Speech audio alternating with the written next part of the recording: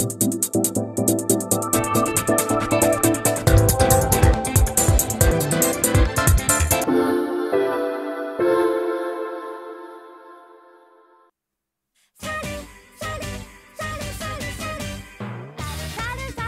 いどうもリーベです。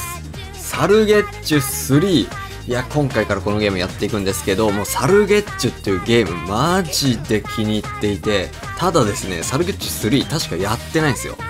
初見ですおそらくおそらくですはい持ってないと思う思うんではいでえっとそうなんですよ持ってなかったから買ったんですけどえっとサルゲッチュ2はめちゃくちゃやってたんですよまあだからその続編の3やっていきましょうかで、2は実況してないんですけどね。あの、サッカーのやつだけ実況した感じ。で、初めから。あ、名前つけれるの？へえ。あ、これ知らないわ、やっぱり。あ、違う違う違う違う。え？あ、キャンセル。あ、ね。なかなか独特な文字セレクトの、これ、かなにどうやっていくの？スタイル？こうか。あ、なんかこれ、携帯のさ、なんか、あれに似てるね。テンキーだっけ？ラリル、リ。あ、ほんとだ。完全になんか、携帯のやつじゃん。ハヒフヘ。で、点々。えー、で、決定。はい。これで OK です。いやー、ほんとなんですよ。サルゲッチ3やったことなくて、なぜか。で、まあ、続編ね、出てきてほしいなって思ってるんですけど、まあ、プレステのあの、なんかプレミアムで1ができるようになってると思うんですけど、ここはあえて3を初見でやろうと思います。ついに始まるのだ私を嘲笑った人間どもへの復讐がこんななんか前ムービーなんてあったんだね。へえ、人間の復讐。まあどういうゲームかというと、猿を捕まえるゲームです。もうそのまんまなんですけど。で、主人公は、これまた別の人なんだね、2と。あれ、1も、多分ね、1もやったことないんだけど、これ違う、かけるじゃないよね。サトルだ、あ、サトルなんだ。で、サトルってわかんないけどね、誰が。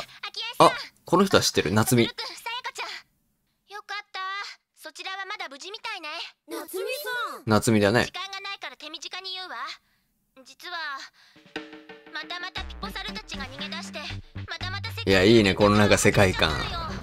今度はこれサルゲッチのこの感じねおバカな感じの。とんでもない。ピポサルたちの番組を見続けるとあまりのくだらなさにみんな脱力して怠け者になっちゃうみたいなの。へえ。それであまりのくだらなさ。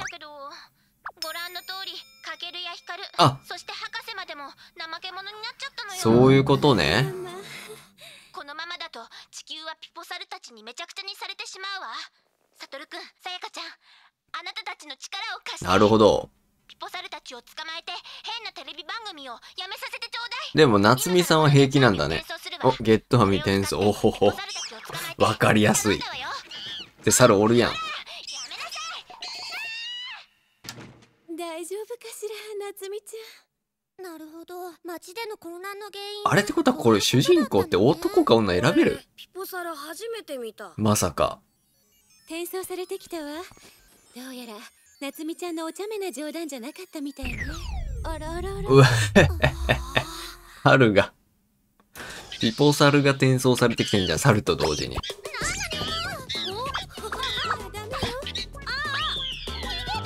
お母さんすごい優しい声だね。さ、あ、やっぱそういうことか。えー、サトル、さやか。まあ、サトルでいこうか。タルゲッチといえばやっぱ男のかける光る主人公だからね。行きましょう。ピポサルを一匹捕まえろ。いや、基本は一緒なんだね、やっぱり。てかそうなんだよね。まあ、2005年発売のゲームだからね。で、これで、あ、振るのは確かこうだ。なるほど。え、カメラ視点は？あ、こうか。あー、そういうことか。L1 でカメラだ。なるほど。だからこう。お、意外に。はい、OK。これはまあチュートリアルのステージってことだな。チュートリアルもクソもないけどね、なんか。めちゃくちゃ簡単な感じで、で、説明もなかったな。はい、ステージクリア。なるほどね。まあ、正当進化って感じだね。今見た感じだと。捕まえてくれたピポサルは無事転送されたわ一体どうなってるの？それがやっぱり夏美ちゃんからの情報は本当だったみたい本当なんだね。またまたピポサルたちが世界中でいたずらを始めちゃったみたいねとにかくピポサルたちを捕まえて放送をすごい冷静なお母さんいいな。だから二人の力が必要なのやってくれるわねやってやるぜ。いいわ小学4年生なんだね。さあ、うわーなんか、もう一緒だ。完全に。2もこんな感じだったもん。テレビステーションよテレビステーション部屋にあったワープ装置はピポサルが壊しちゃったから研究所の裏を改造へえ、研究所の裏を改造ピポ。サルを捕まえに行くことができオッケー、じゃあ早速行こうか。セーブもできますと。あ、ここでカメラは変えれないんだ。で、トレーニングがあって商店街。その際いろいろなお店商店街なんてあんの？秘密ゲーム壊れてた。サッカーはないよね、多分。あんのかな？でもないよな。そこはワープ装置よさあ行きましょうか。え、スクープ36回目のウェディングワイド特集。これ1ステージ目？行きましょう。わー、なんかいいね、この感じ。4匹捕まえろ、OK。あ、全部で7匹いるんだ。へえ。ノルマが4匹と。ピポサルじゃない、サルゲッチュって BGM もいいよね。このウキウキな感じの。はい、まず1匹目。もう容赦なく捕まえていきます。あ、メカボあんじゃん。間違えた。メカボで、こう、くるくる回してって、えー、なんで？コインゲットしてってつって、そういう感じだよね。あ、で、2段ジャンプが使えるっていうのは一緒なんだな。オッケーオッケー。殴って、何が2と3で違うかっていうのも探っていくのも面白そうだね。で、あれあ、あそこ行ったか。まだあれだね、あのー探索するアンテナ装置みたいなのはないな。とりあえず、えー、2匹目捕まえましょう。はい、あれ。ほい。ほい、オッケー。で、左上のビスケットが、あのー HP みたいな感じです。あれがなくなるとゲームオーバー。そして、ウェディングが、あ、ってことは？そういうこと、2匹。2匹出てくる。もうこれ、連続で。何？はい、まず1匹、サルボー。痛い。なんだと？よし。そして、痛い。で、あいつ捕まえてノルマクリアね。まあ、捕まえちゃおう。なんか今、携帯電話あったけど、先に、よし。先に捕まえさせろ。オッケー。はいはいはい。まあ最初の方はこんな簡単なね。だんだん多くなってくんだよね。さあ、お、いいね。毎回ムービー入る。さあ、全部で4匹。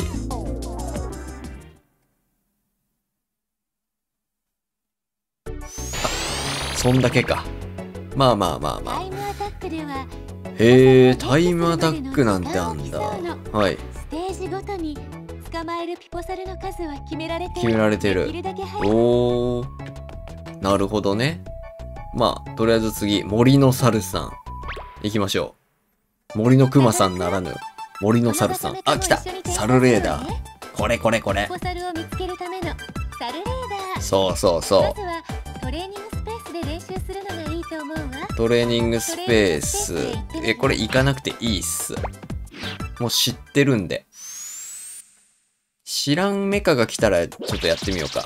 トレーニングスペース。さあ、7匹捕まえます。そう、猿の情報が見れるんだよね。どこにいるかっていうのと。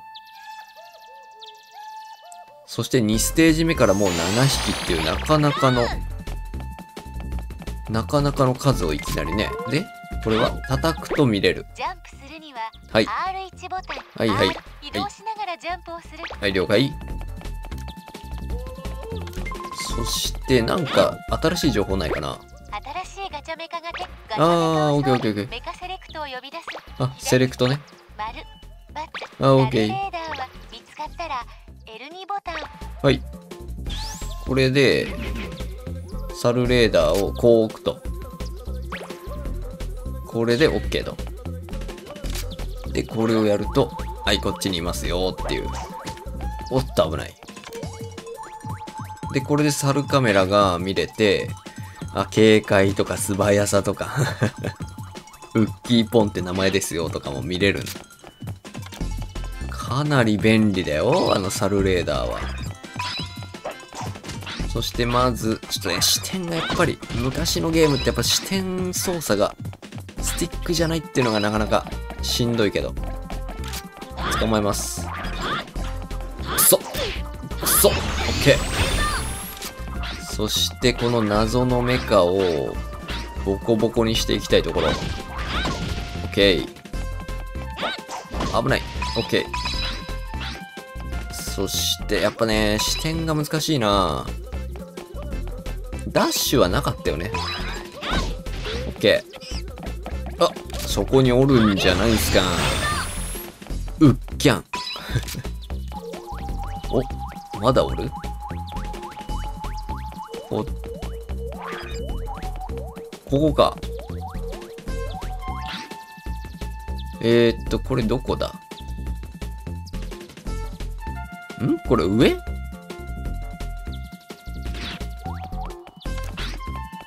上っぽい。まあいいや、こっち進んでみようか。で、二段ジャンプだよね、この説明が。あ、あれか。あんなんだっけあ、あんなんてか、あそこに。よし。向き合ってたっけな。そして、はい。何？何？赤ずきん。ほら、ゲッチュー、オッケー。そしたら、一応もうレーダーでもう一回。こっちか。ここ上行けないよね。ん？まあ、こっち行ってみるか。とりあえずこいつ倒して、コインもね、なんかあの、ミニゲームが出るガチャが回せたりとかい、いろいろできるんで、持っといた方が便利っすね。はいはいはい。はい、了解です。ビスケットがなくならないように注意してねと。視点が難しいな。で、これ、危ない。よし。これ倒す。ジャンピングアタックとかもできるからね。その辺の技術も使っていきたいところ。いや、でも普通にやっぱ面白いな全然今でも楽しめる。OK。そして、おお、猿が出てきていく。捕まえる。サルボン。さあ、あと2匹です。早くもあと2匹。そしてここにいる。はい。ウルフモン。あと1匹ね。了解じゃあ、お得意レーダーを使っちゃいましょうか。そこに、お、ここじゃないか？おお出てきた。はい捕まえていく。ウキコいやいやいやおもろいおもろい。おもろすぎるぐらいおもろいわ。やっぱこのゲーム続編出してほしいな。おさあ全部で7匹捕まえました。ムービーは入らないかな？おかえりなさい。あムービー入った。お猿のゲッチュ大変だったみたいね。そう思って新しいメカを開発してみたの お母さんめちゃくちゃやる気。新しいメカ開発。いろいろな姿に変身できるのよ。変身？何ができるの？変身？それは変身してからのおすっごいアクションができちゃうんだから。すごいリアクション。おう。もちろん。今はまだ準備中だけど次のステージへ行くときに渡すわね。え？ー、何に変身するかはその時に発表します。お願いします。えー、っとそしたら一回商店街行こうか。なるほど。ホビーショップミュージックショップ？あなんかね HP のゲージの上になんか出てるねコンビニおコンビニじゃん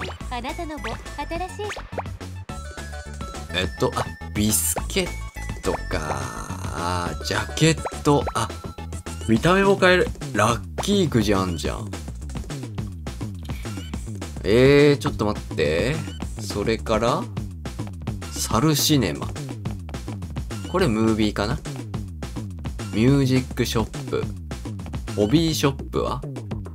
そこはホビーここであギャラリーでガチャガチャガチャガチャ、これこれこれ。あれ？あー、写真くじか。えー、じゃあ、ブックショップ。そこはブックショップここで集めただから新しい商品うーん、あー、はいはいはい。設定、あー、これなんかあんまりかな。だったらラッキーくじ。これやってみよう。大当たり。お星座猿占い。すぐなくなっちゃうけどもう使っちゃおう。番組ガイドチャンネル1。よくわからん。ようわからんけど、まさかここにおるわけないよな。オッケー。じゃあ一回戻って次のステージ行きましょうか。さあ、そしたら、え、三つ目のステージ、え、サルモンのちっとも動かない城。あ ハウルの動く城みたいな感じで。じゃじゃあ、ーん来た。ファンタジーナイトバケルギアえー、ちょっと待って、これは練習しようか。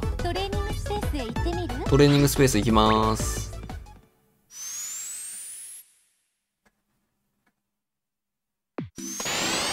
さあ、来ました。えーと、バケルギアを使うためにはまずバケルエナジーをあゲージいっぱいまでなるほゲーどジ。が満タンになった状態で変変身身ジャンプ。左スティックを変身したいキャラクターの方向に変身できる時間は限られているの変身をやめて元えに目の前にある緑色はい、集めました。で、あで、えーと、同時ジャンプで、あ、なるほどね。で、これ？ファンタジーナイト。で、決定。ほー。あ、これで、強力な攻撃になったりな。えーこんな、はいはいはい。失礼失礼失礼。ええー、面白なるほどね。はい、今の技術を携えて、ピポサルを9匹捕まえます。ただ全部で11匹だからほとんど捕まえないといけないね。ファンタジーナイト。あの変身使うことになるってことは、強い敵が出てくるんじゃないかなさあ、まずは、こっち側にはいない。あ、いる？緑色のあはいはいはい。バケルエナジーね。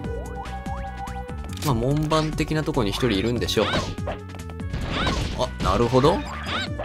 これ今、こいつ2発でしか、いいね。今のエナジー溜まるのいいな。はいはいはい。そして、ここにいるね。はい、まず1匹。そしてここ回していきますと、えそのまま行けます。お左右チェック。あ、違う。これ。ここもいる？こっち怪しくない？さすがにおらんか？まあ、素直に進んじゃいましょうか。ジャンプで、はい。OK。倒したら、もうバケルエナジーがマックスなのと、これ、どっちかに入ってるはず。あ、おらん。おらんかったわ。あ、じゃあこれ押します。さあ、これで、開きます。ただ、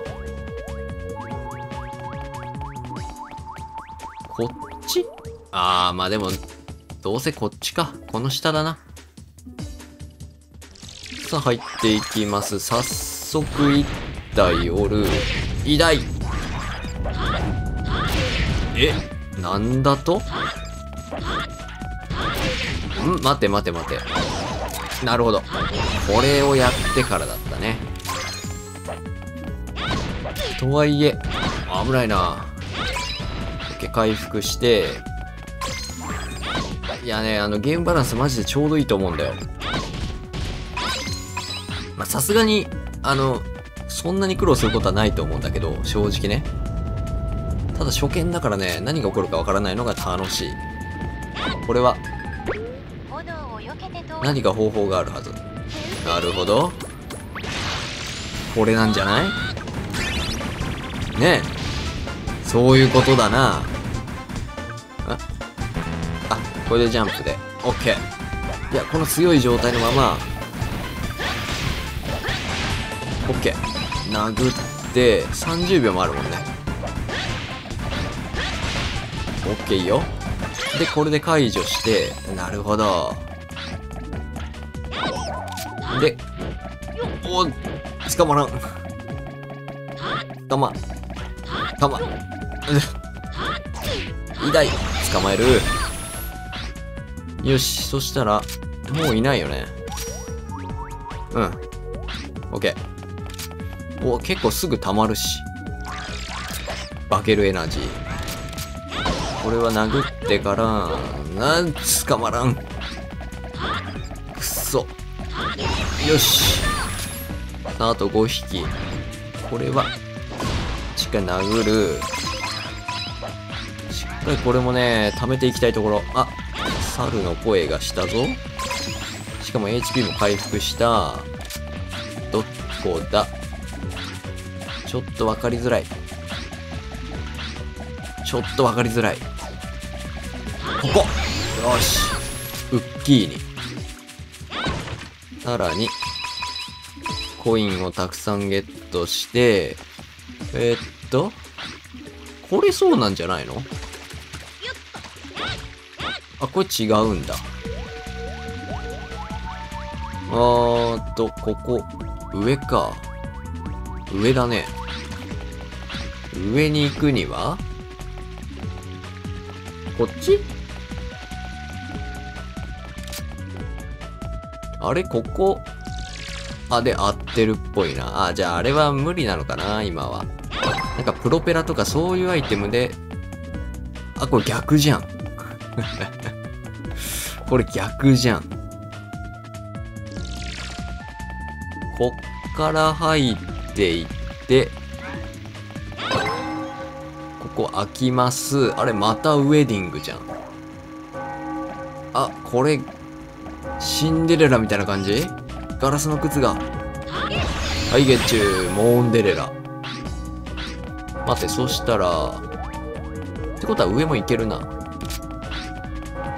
上行ってみよう。ここはしっかり殴る。オッケー上にいるね。オッケーこれで捕まえる。ウウキイチ。そうそうそうそう。お、なんか変わった BGM が鳴って、おダンスしてる。優雅に。失礼します。これで、ラス1、ナイスよーし。はい、ということで、タルゲッチュ3、いや、今日から始まりましたけども、さるものちっとも動かない城いいやマジで楽しい。もう無限にできるわ。はいサルゲッチュス。おあもういきなりボスです。来ましたね。これムービー入るよ。ここでボスなんだ。すごいとこ来たな。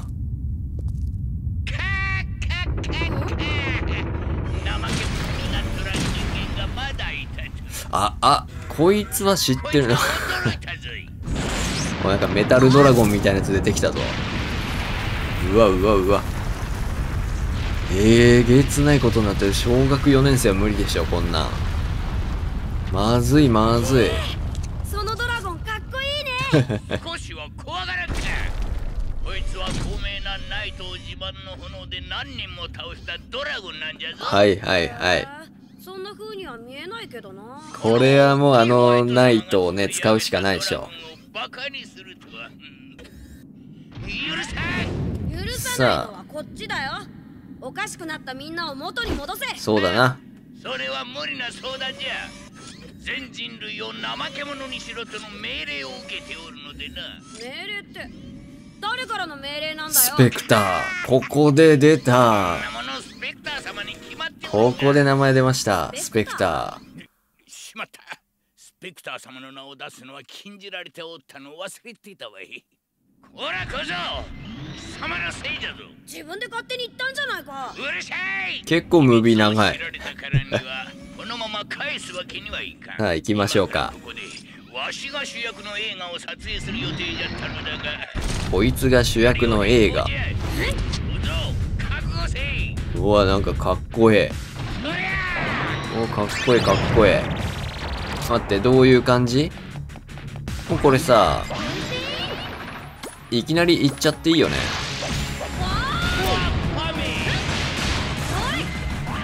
いきなり行っちゃって、これでいいの？おうおおあ、もう第一段階。えー、なにこれ？焼き鳥にしてやる。あなるほど。えー、でもこれで、はいはい、殴ります、殴ります。あ、これでいいの？間違えた。ちょっと、やっぱね、視点が、視点が。どう？オッケーオッケー。なんかコンボ技みたいなのありそうだね。はい、30秒追加。これ、熱っ。どうだ？オッケーあ？あ、お疲れ様でした。ウッキーホワイト。余裕すぎる。いやー、面白い面白い。さあ、今度こそ終わりかな、今回は。アンテナがもうボロンボロになっちゃったよ。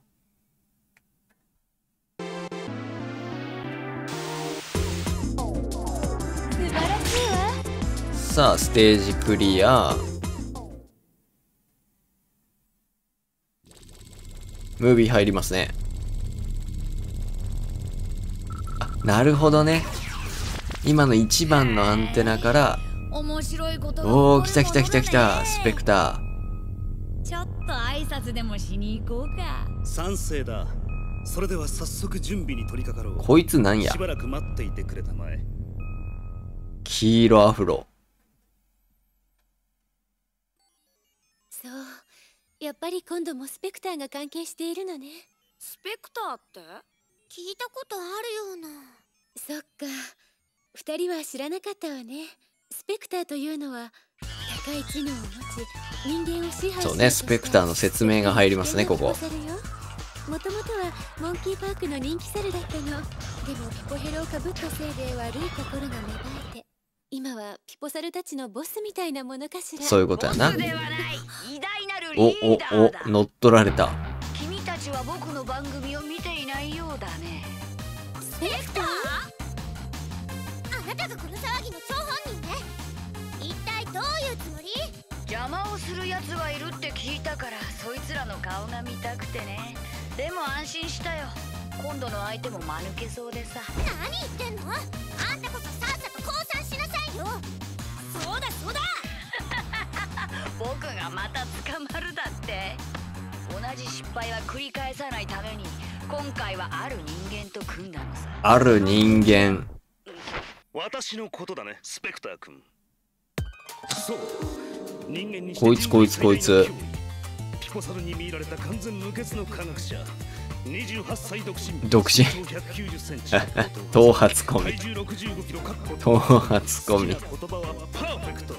そして知能指数は驚異のこいつが何？それがこの私ドクター友浮なのです誰それ？ええー、こんな人見たことない。ね。普通に出てこい普通にドクター友浮だって。あれ？まあとにかくお前たちなど恐れるに足りんというわけさ。ザ・つらい。久しぶりともきくん？ん頭よかったわね。バキエさん。えー、そこが繋がってんの？いつまでもこのような者たちに関わっている暇はない。次の準備と行こうじゃない。かえ、そこ繋がってんの？めちゃくちゃ意外じゃない？というわけだ。おとなしく僕たちのテレビ番組を楽しんでいただえー、どうしても挑戦してくるつもりなら遊んであげてもいいけど。なるほどなるほど。はい。あのおじさんと知り合いなの？昔ちょっとねそんなことよりもさっさとスペクターを捕まえちゃいましょうーん？昔？なんかそこの謎を残して、えー終わりますけど。うブッキーホワイトって今何歳？はい。あ、そんだけ？ということでデータ装置でセーブができるはずですゲームを忘れないセーブしちゃいます。セーブ。1番セーブ。はい。ということで今回以上です。また次回です。お疲れ様でした。Den er da